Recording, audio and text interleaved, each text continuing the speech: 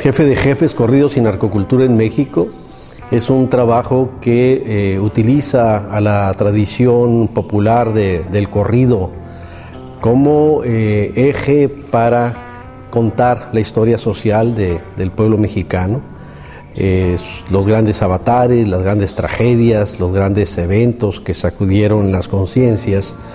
pero también la dimensión del corrido como una inscripción a través de la cual un pueblo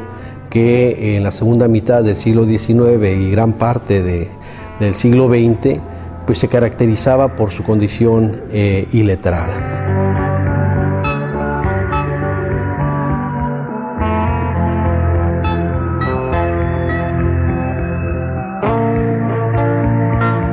Una importante condición que ha venido marcando la vida de esta frontera, sobre todo a partir de los años 60, 70 del siglo XX, pues es la eh, conspicua presencia del narcotráfico como uno de los elementos que se inscribe en los entramados sociales y por supuesto el corrido también cuenta las historias que de ahí emergen. Entonces una parte importante del trabajo es el análisis de los narcocorridos, de la narcocultura